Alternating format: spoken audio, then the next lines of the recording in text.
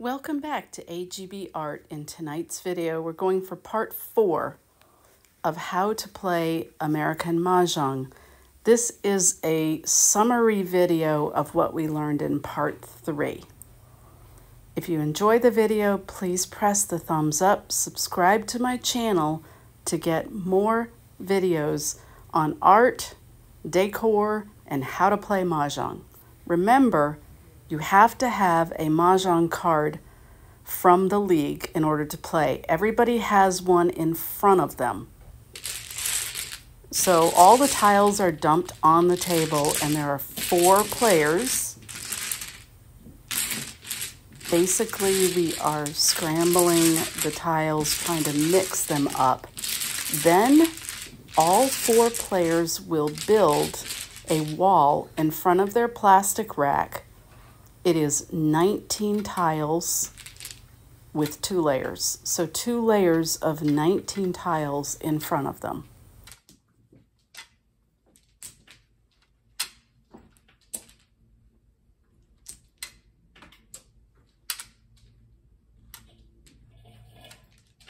Once everybody has built a wall in front of their rack, each person is going to roll the dice and the one with the highest number will be designated as east. So I'm going to pretend that I was designated east. Now the person who is east will roll the dice again.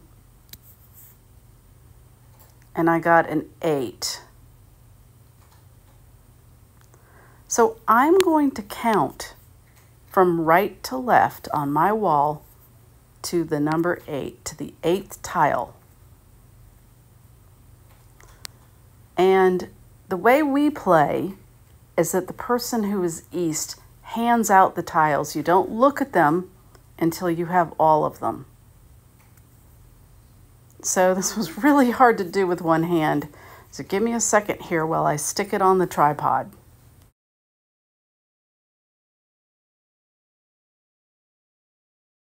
I've gotten to the eighth tile, I'm going to move my plastic rack back. This is just easier to make a little bit of room. And I'm going to start by giving myself four tiles. Now I'm going counterclockwise and doing four for each of my players. Four more for me. We're going to go around again. And you can see I ran out of tiles, so I take the next wall. This is the only time we go clockwise for anything, is taking the wall. So everybody's getting a second block of four tiles. Nobody's looking at them yet. Everybody's getting a third block of four tiles. Now, the last thing that I do for me is I'm going to pick the first and the third tile. Those are mine. And then each person gets one more. Because I am east, I'm starting the game with 14 while everybody else has 13. Once all of the tiles have been given out, then people are putting them on their racks and you've got to remember, in front of the racks, everybody has a Mahjong card laid out. Again, they're copyrighted. I don't have four cards, but that's what's missing here. And what people are doing is they're organizing their tiles. So the easiest way for me to do it is to have jokers and flowers on the left, the odd numbers, the even numbers, and then any dragons and winds on the end. But everybody does it differently. I can see by looking at my hand, I have way more even numbers than odd. So I'm probably not going to look at the 1, 3, 5, 7, 9 category. This is a different way to do it. You can do it by suits. So they have their BAMs here, their dots, and their cracks and dragons on the end. There's no right way to do it, it's whatever is comfortable for you. This hand is organized the way that I would do it. Jokers and flowers on the end, odd numbers, even numbers. You can see I have two even numbers. That cuts me right out of the 2468 category right there. I've got a dragon and I've got almost a single word that is part of the card. I just need an S. So I would probably keep that. And the fourth person has it by suit. She had a lot of BAMs in her hand. So if you have a whole lot of one suit, sometimes it helps to do it consecutively. And you can see she's probably going to go for the consecutive run. Once you've got your tiles organized the way you like, and hopefully you've narrowed it down to which category you're going to pick a hand in, the next thing you're going to do, and everybody at the table does this, pick three tiles that you want to get rid of. We're going to start the Charleston, and it begins by picking three tiles and moving them to the player on your right. In the first Charleston, it's three to the right, three across, three to the left. As you're getting ready for the Charleston, remember these good tips. You don't ever trade a joker and you try your hardest not to trade a flower because a lot of the hands on the card start with flowers. I don't like to pick consecutive numbers. Here I'm going to show you I have a 3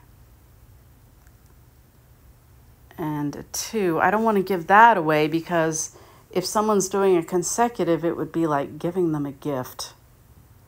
So I tend to pick three completely unrelated tiles that I don't need.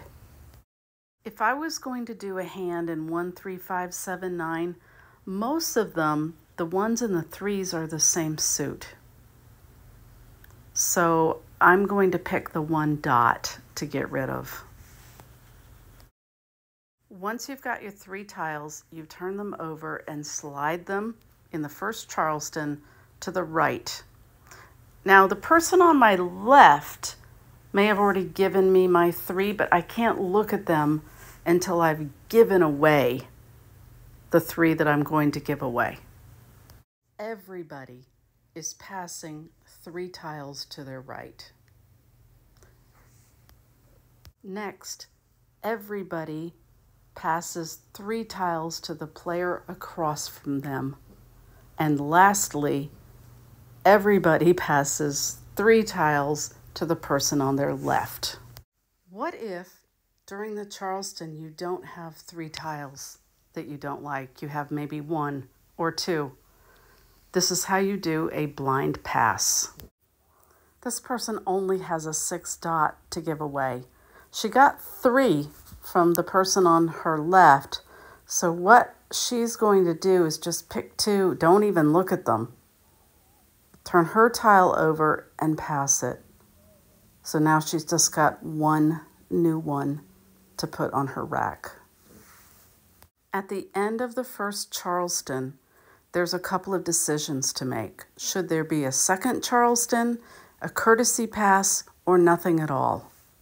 If you have three or more junky tiles, vote for a second Charleston. If you have only two or one that are bad, then do a courtesy pass. Or you could just start playing the game now. In the second Charleston, everybody picks three tiles they don't like and passes them to the left first. Then they pass across, and then they pass to the right. In a courtesy pass, you and the player across from you decide how many tiles, and you will trade that number of tiles. Once all the trading is complete, the game can begin. Remember, I'm east. I have 14 tiles. So I start play by picking one of my 14 tiles, putting it on the table, and naming it. So I put the tile down and I say, five bam. The player next to me is really interested in that five bam because she could build. But the problem is you cannot pick up to build. You can only pick up to complete a grouping. Let's review this idea of grouping. Looking at this fake hand, it's four flowers, three twos, three fours, a pair of sixes, and a pair of eights. The four flowers make up a group. So if you had three flowers, you needed one more, and somebody discarded it, then you could pick it up. But if you only had two of them, you can't build on it. Same with the twos. If you have two of them, a third one would complete that grouping and you could pick it up. Same with the fours. If you had two of them, and a third one got discarded, you could pick it up. The issue is with the pairs. The pairs cannot be picked up until it is the very last tile that you need for Mahjong. So, say for example, you've already got your flowers, your twos, your fours. You picked up two sixes out of the wall, you already had an eight, and all you need is that last eight. Then you can pick it up and claim Mahjong. So this player can't pick up that five bam. So she picks a tile from the wall. And this is how it works. You pick up the tile, bring it over to your rack, and you rack it right away. Put it on the rack. That stops any other player from being able to pick up that five bam that was laying there. Now nobody can touch it. It not even for the rest of the game. It's gone, it's dead. So this player decides is she going to keep what she picked up and discard or discard something else. Looks like she's getting rid of the east, puts it down and says east. So that five bam tile is gone. It's out of the game. Nobody can ever pick it up. And now the one that is available as a discard is the East. The next player can't use the East, so she's going to pick a tile from the wall and immediately rack it. That stops all play. Nobody can pick East up now. She decides whether or not she's going to keep it and picks the tile up for a discard, lays it on the table, and says two dot. We're going to pretend that this person needs a pair of soaps for her hand. She goes to the wall and picks a joker. But here's the problem. You cannot use a joker for a pair. Not ever. Not for Mahjong. Not ever.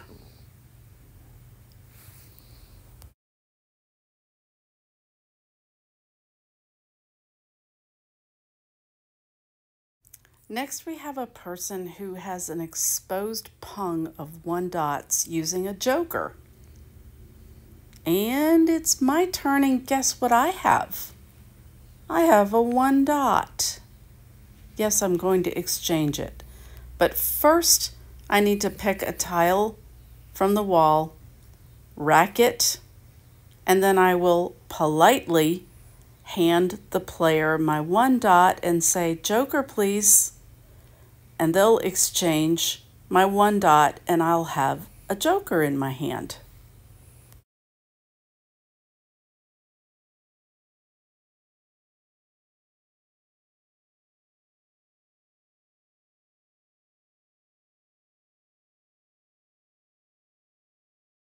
Once we've used up the blue wall, the next one to take is the yellow one.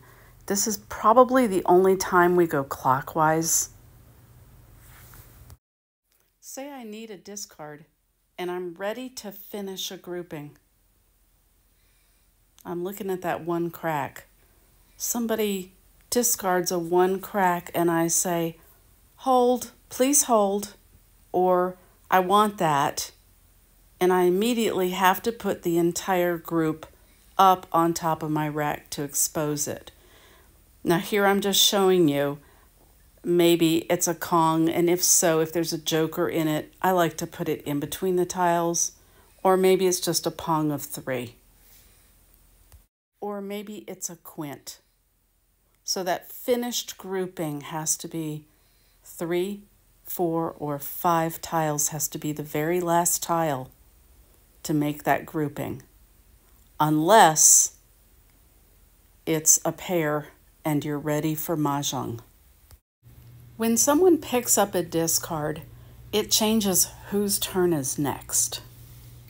Okay, so it's time for this person to take a turn. And I'm just reminding you here, we've got the green, the yellow, and the blue. And play normally goes counterclockwise. So it is now the person with the pink Rex turn and technically, after that, yellow would be next. She's going to take a tile and rack it. And she's going to decide that she doesn't want it. So she puts it on the table and says, one dot. Now the blue person wants that one dot to complete a pong of one dots. So she says, please hold, I'll take that. Puts her tiles up on the rack to show because she's completing that grouping. And she discards a green dragon. Now, technically, it should be the yellow person's turn, but it is not. It goes to the person on the right. So it will be the green person's turn now. Not yellow. It's like they skip their turn and it's time for green to play. So it's the person to the right of the person who picked up the discard. Okay, it's almost the end of the game.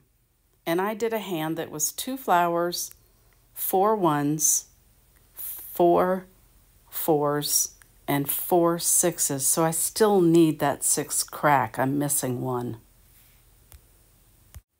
Now I'm going to pretend it's somebody's turn, maybe the person with the pink rack. They draw a tile, they rack it, and then they do a discard.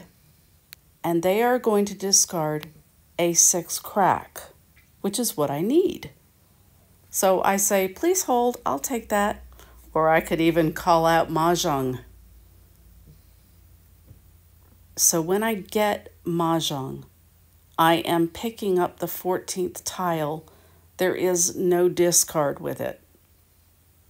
And once I claim Mahjong, I put all my tiles up on the top of the rack and tell the players which hand I was playing, and they check it. While they're checking it, I would highly recommend that you not dump all your tiles and think the game is over, because if I made a mistake, then my hand is dead and play could continue. I know it can seem incredibly overwhelming to keep up with everything to remember, so I wanted to do a short summary video of part three. If you can find a local game, I really recommend that you sit in and observe how the players play. You'll be much more comfortable. I will continue to make more videos about American Mahjong. Thanks for watching.